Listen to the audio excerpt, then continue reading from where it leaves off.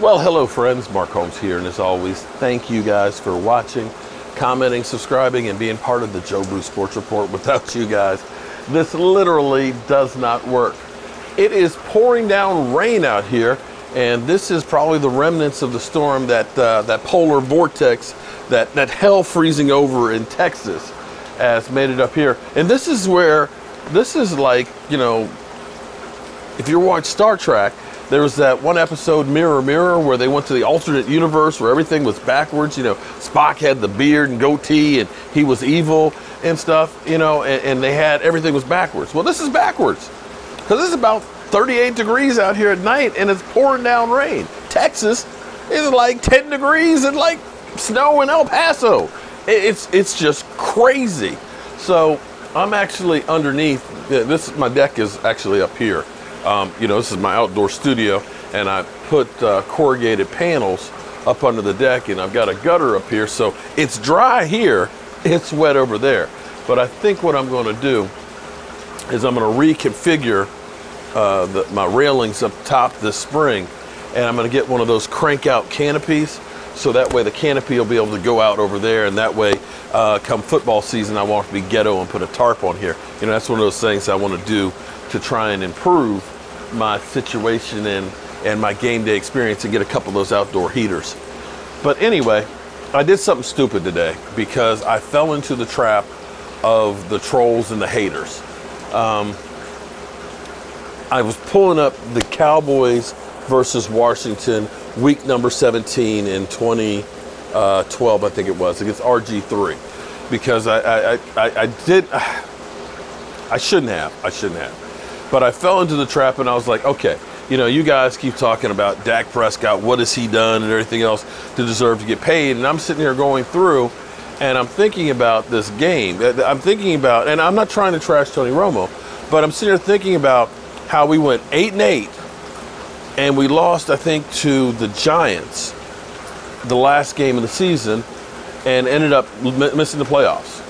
Then the next year, we lose to the Washington football team and Tony Romo throws three interceptions, but yet he got paid in the off or I think he got paid in that off season, or was it the year after, or was it three, eight, and eight years? Because I, I'm just trying to, I'm not trying to belittle Tony Romo.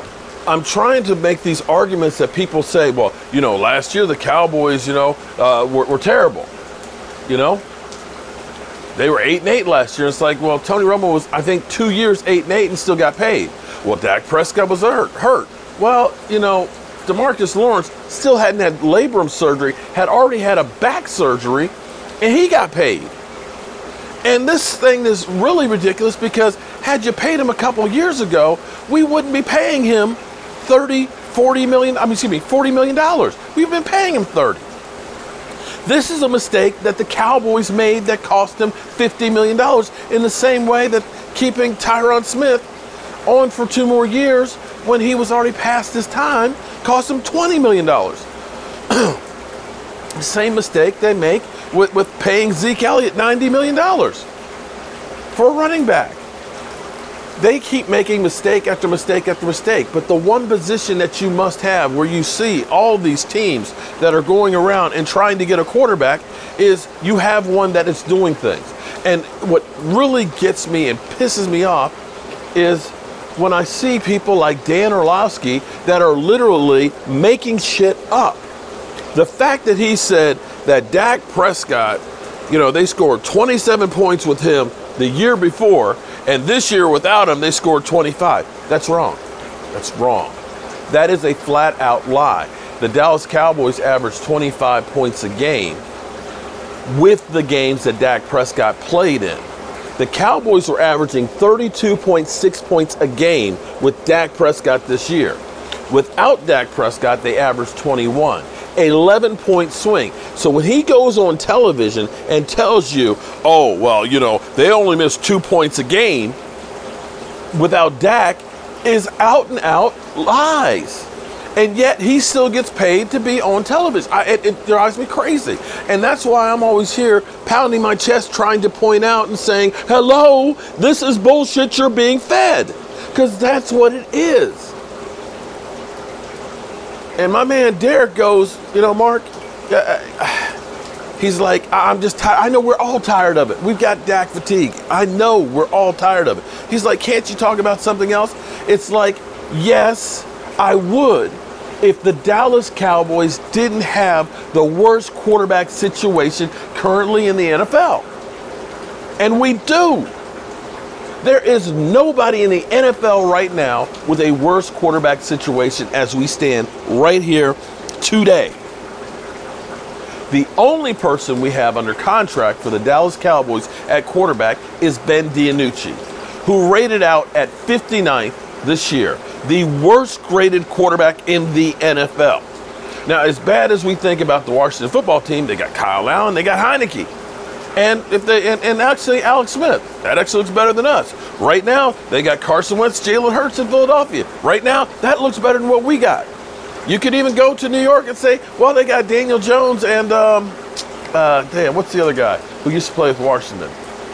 I can't remember, but they got a better situation than the Dallas Cowboys do right now. And until we do something, sign somebody, Dak Prescott draft somebody or or sign a free agent or make a trade for Russell Wilson, which is another one of those things that's kind of pissed me off. That you got guys saying, "Well, you know, I've heard a lot of people talking about Russell." Yeah, because you're the one talking about it, Mike. You're the one that's talking about it, Mike Florio. You're the one making that shit up. Russell Wilson is not getting traded to the Dallas Cowboys. The Dallas Cowboys won't pay top line free agents. Do you think that they're going to give up draft capital now to try and go get Russell Wilson or Deshaun Watson? No. The Dallas Cowboys, unfortunately, are their own worst enemy. The reason the Dallas Cowboys have the problems they have are because of mismanagement. You've had opportunities. You've had players that are here, and you've not evaluated guys like Anthony Hitchens. Oh, we don't need him. But then you turn around and you pay Jaylon Smith after one good season.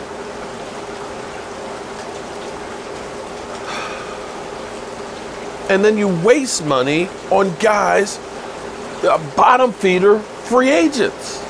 The reason the Cowboys aren't winning isn't because of that. That's the only reason why we've won as much as we have over the last four years. Is because of Dak Prescott. You don't remember 2015 when Romo went down and they won one freaking game? You don't remember seeing the mismatches of quarterbacks that we had here? Oh, I know. Oh, well, Andy Dalton, man, he was a stud. Yeah, against the Cincinnati Bengals. Yeah, against the 49ers. Yeah, against the New York Giants. How would he do against the Seattle Seahawks? How would he do against uh, uh, the New Orleans Saints? Come on, man. Let's get real. Let's get real on this shit. You guys, you got to stop listening to that garbage out there, man. Fuck. I get so worked up, man. I just hope that I didn't screw myself with showing. I, I, was showing that game because I was like, I remember that game because I think Romo had like 150 yards or 200 yards and three interceptions, and it was like, oh, oh, here we go. Oh, it's enough. Oh, Tony O knows, and and and I remember that game, and they'll say, well, Dak, you know, he, you know, he sucked. Well, against Aaron Rodgers, Aaron Rodgers in his rookie year, with uh, you know when Dak Prescott played him, Aaron Rodgers it took a miracle play from him, 355 yards because Dak threw three touchdown passes in that game, three touchdown passes, one interception, 304 yards. More yards than any Tony Romo playoff game, more touchdown passes than Teddy Ro- Tony Romo games. And yet you got, oh, Dak sucks. We lost because of Dak.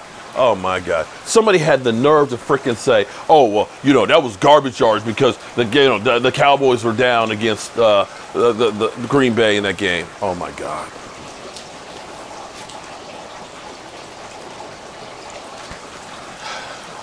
The hate that you guys have. Oh my God! If I can get up, my knees are killing me. Mm. Get this fire out. I'm gonna get out of here. As always. I want to thank you guys for being here. Oh, my knees are killing me. Sucks getting old. At least the fireworks in the rain. Woo! I'll see you guys in the morning. Peace out.